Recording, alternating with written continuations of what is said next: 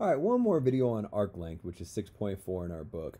What I want to talk about in this video is what if the curve that you are given is not parameterized? Right, in the previous video, we kind of derived this arc length formula, which I've copied here for your reference, and then we figured out the length of a curve if the curve was given in the parameterized form. But what if it's not parameterized? What if down here you were just given f of x equals this as your function, and you're asked to figure out the length of this curve from, and they give you two different bounds here. Well, what you do here kind of depends. What your book tells you is, oh, there's a completely different formula. Just memorize this one. And then they give you another formula if instead of your function giving you y in terms of x, it gives you x in terms of y. And you can memorize those three formulas, the green one, a red one, and another red one, and then you're good.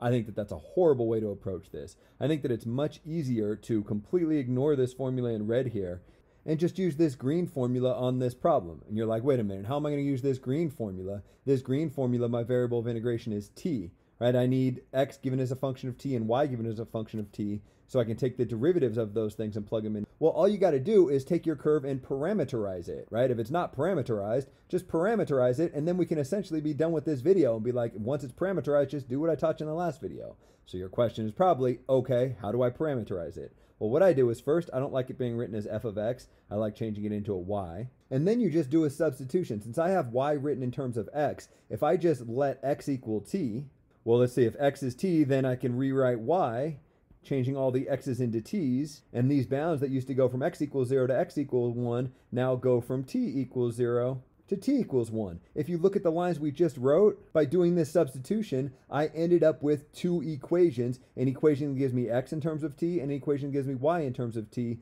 I parameterized the function that was given to me. If your function's ever not parameterized, then just parameterize it by changing whatever variable you have in your function into the letter t. We now have the parameterized equations in the bound, so it's easy enough to figure out the arc length. It's tempting to stop this video right here and be like, all right, I got it, we're done. I chose this example on purpose because, as I mentioned before, figuring out the antiderivative of the square root of a sum of a couple terms is really challenging. We learned a trick in the last video where we can kind of get around this by factoring and doing a u substitution. But generally speaking, antiderivatives of square roots of sums are hard to deal with. Here's another special case where you can get things to simplify nice enough so that you can figure out this antiderivative. This one, even more so than the last one, you should certainly not have thought to have done this unless somebody demonstrates it for you. So let me demonstrate it for you. If I want to use this formula right here, I need dx dt and dy dt. I have x, so I just need the derivative of this guy. The derivative of my variable is just equal to 1, and then I need the derivative of this guy. This 1 half is a constant, so I'll leave that alone. The derivative of e to the t is just e to the t. And then for this one, the 1 half is a constant, and the derivative of e to the negative t, well, I'd have to use the chain rule. It's e to the negative t times the derivative of negative t, which itself is negative 1. So it's negative e to the negative t. So I can just make this minus 1 half e to the negative t.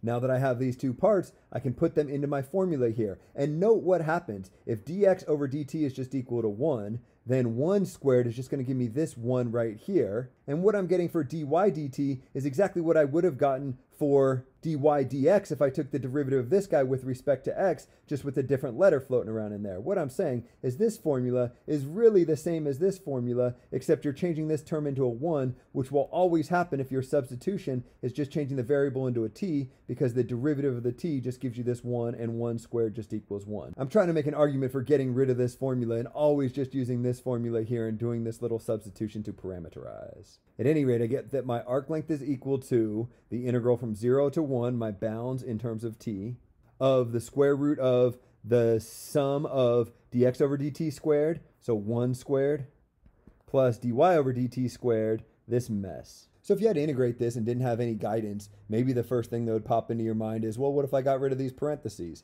And if you were thinking that, that's great because that's exactly what we're going to end up doing. To get rid of these parentheses, kind of think FOIL, 1 half e to the t minus 1 half e to the negative t times that exact same thing. Well, 1 half e to the t times 1 half e to the t gives me 1 fourth e to the 2t. And that's because e to the t times e to the t is e to the 2t. Because when you multiply two exponents with the same base, you add up those exponents. Then the O in FOIL and the I in FOIL are going to be the same. Each of them will be 1 half e to the t times negative 1 half e to the negative t. Well, let's see, the 1 half times the negative 1 half gives me negative 1 fourth, but I'm going to have two of them, so maybe negative 2 fourths. And then e to the t times e to the negative t. Well, I got to add up those exponents. t plus negative t is 0, so I just get e to the 0 power. And maybe you're like, well, isn't e to the 0 power just equal to 1? Yes, it is, and I'll write that in the next step. And then for the L in FOIL, negative times a negative gives me a positive, 1 half times 1 half gives me 1 fourth, and e to the negative t times e to the negative t gives me e to the negative 2t power. That's already pretty challenging and we're nowhere near done, but let's keep on going. A nice thing happens if you recognize that this is just 1.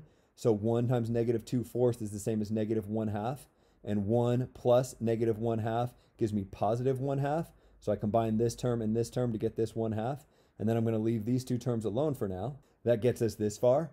And right now we're in great shape, even though you don't realize we're in great shape. The reason we're in great shape is because what you have underneath the radical, this thing here, it's a perfect square. I can rewrite this as something squared. And the great thing about writing this as something squared is that squared and this square root will cancel each other out and it'll leave me with something that's way easier to integrate because what's making this so hard to integrate in the first place is this radical sign. And you're like, oh, okay, that sounds like good news. What is this? This is, you're claiming this is a perfect square? What squared gives me this? Well, I think this is pretty hard to recognize. In fact, I'd argue that it's damn near impossible to recognize what it is that you have to square that leaves you with this. However, I will point out that these three terms from earlier came from this thing squared. So it's not completely inconceivable that this would be something squared because this is damn near the same as what I wrote here, and this was this thing squared. So maybe we can be kind of clever. Let's see, what's the difference between this line and this line? Well, in this line, I have a negative here, and in this line, I have a positive here. But I think everything else is the exact same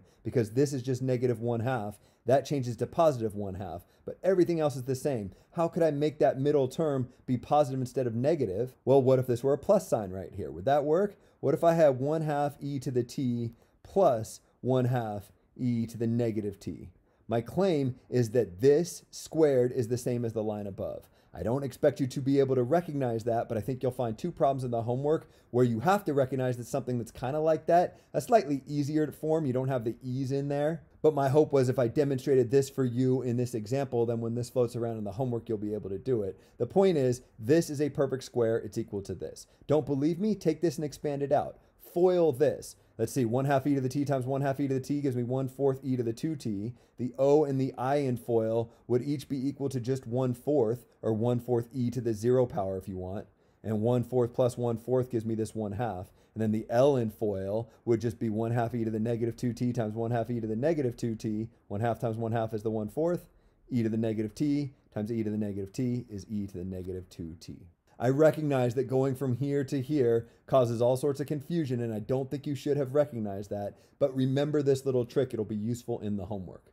If we can call that good, then we can simplify this really nicely. The reason we can simplify it so nice is because the square root and the squared, informally speaking, will cancel out. Really, when you cancel out a square root and a squared, you're supposed to put it under absolute value signs. But because the parentheses will always be positive on these bounds, we don't have to worry about any of that stuff when the square and the square root cancel out, I'm down to just here. And this will be something that's significantly easier to take antiderivatives of. Let's see, it's a sum, so I can just take the antiderivative of each term individually. This first one, one half's just a constant, leave it alone. The antiderivative of e to the t is just e to the t, so I'm done there. And then for the second one, the antiderivative of e to the negative t, it's almost e to the negative t, but if you took the derivative of this thing, you'd have to use the chain rule, as we saw before, and you'd end up with an extra negative when you took the derivative of the negative t part up here. What I'm saying is I need an extra negative down here to make sure that when I take the derivative of this, it gets me back up here. The antiderivative of 1 half e to the negative t is negative 1 half e to the negative t, and that needs to be evaluated from 0 to 1. Plugging in 1s, I get 1 half e minus 1 half e, e to the negative 1 power. Plugging in zeros, I get 1 half times e to the 0 power. e to the 0 power is just 1, so that's just 1 half minus 1 half again e to the 0 power. So I get another 1 half. 1 half minus 1 half is just 0. So what I get from my final answer is 1 half e minus 1 half e to the negative 1 power. Or if you want to factor out the, if you want to write this in a different format, you can. You can do all sorts of algebra, whatever makes you happy.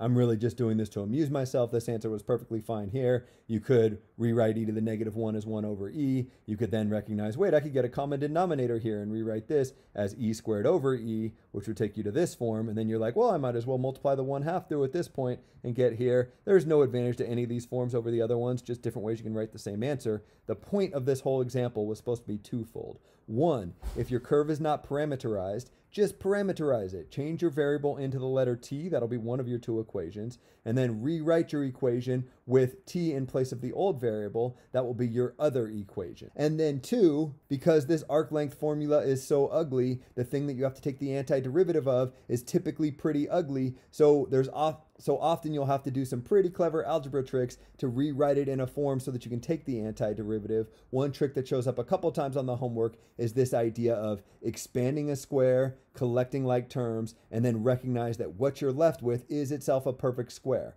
Perfect squares underneath radicals are fantastic because the square and the square root cancel each other out, yielding something you can take the antiderivative of.